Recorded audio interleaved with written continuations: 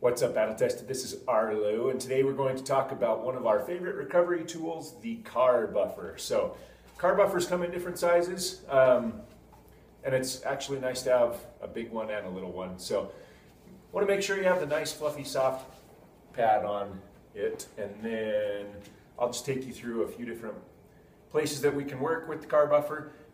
Buffers are great for warming up. So, between the vibration and the heat that it creates, the friction, it really helps to warm up the muscles pretty well. So we do this, we'll do this before a workout, um, before our dynamic warm up, just to get things warm before we start to incorporate movement.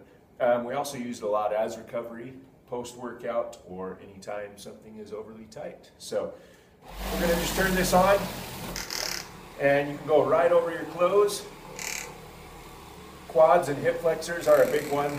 So I'm just going to make sure to keep it moving because if you sit in one place for too long, it's not going to hurt, but it'll start to burn a little bit.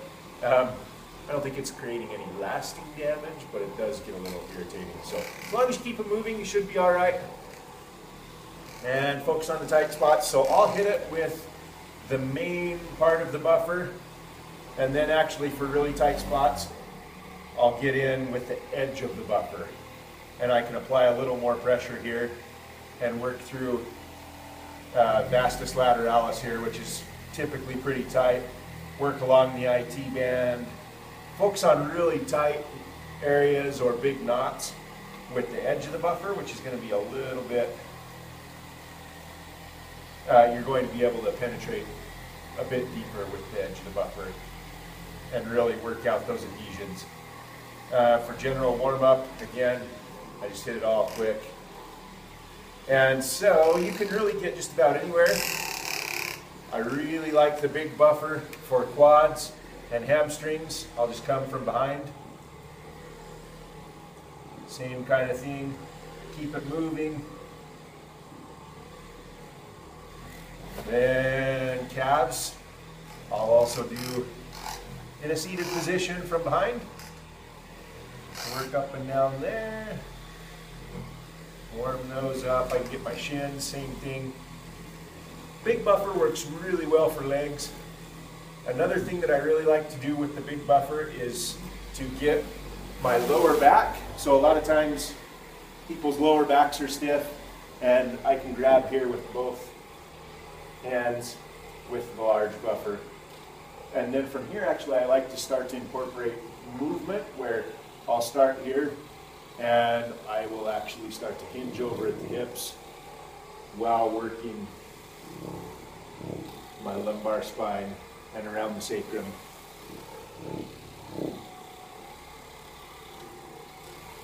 So that's another great place to use the buffer.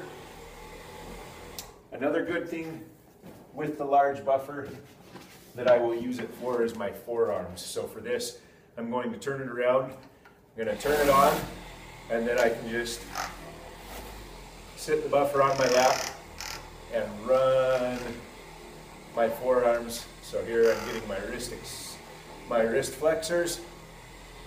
I'm going to go all the way from the wrist all the way up past the elbow.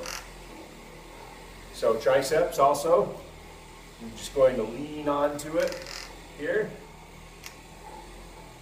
And then for my wrist extensors, I'll flip palm up and get that as well. Those are the main things I use the big buffer for. Um,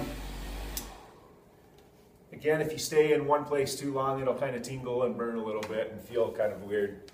Um, but it's, it's probably not going to hurt you. Keep it moving would be your safest bet. Little buffer you can also do forearms with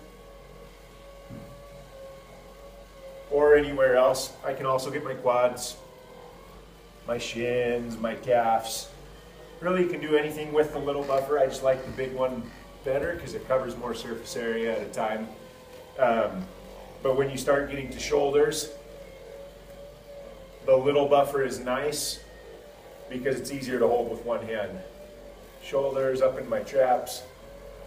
It's hard to buff your own upper back, but that also feels fantastic. So it's something that you can lay down on your stomach and have someone else run across your upper back, and that works great. Otherwise, obviously, just whatever you can reach. Um, and again, I can get my triceps with the little buffer as well. So really the size of the area that you're doing kind of dictates which buffer works better for it, with the exception of your forearms, which you can use either one, but I do like the big buffer because I can kind of sit there and then just run my arm all over it. So buffer is a great recovery tool, great for warming up. We use it all the time. Um, and again, just remember you can use the flat part over large surfaces to really target little knots and adhesions or big knots and adhesions. I can turn it sideways and work the edge of the buffer in and apply a bit more pressure. So there you go, car buffer, great recovery tool. Try it out.